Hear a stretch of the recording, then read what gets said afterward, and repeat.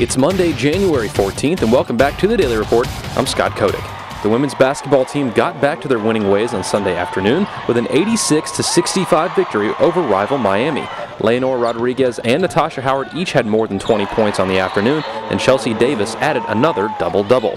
It was an effort that head coach Sue Semrau could not be more proud of. A great defensive effort by my team, and uh, I think they they really came back from a tough loss and worked hard in practice, and that was the difference. Was uh, was what they did in practice. And, uh, you know, the result against a very good Miami team, um, you know, is, is, is exciting for us. The men's basketball team was in action on Saturday afternoon, falling to North Carolina, final score 77 to 72.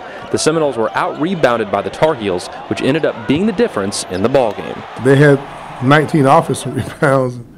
That was the same number of rebounds that we had. Now we've been a pretty good rebounding team when we concentrate, we have not been as consistent. But uh, when you're not, when you're giving up a team, a hungry, athletic, aggressive team. Congratulations goes out to the men's tennis team, which started its spring season on the right note with two wins over UCF and Furman.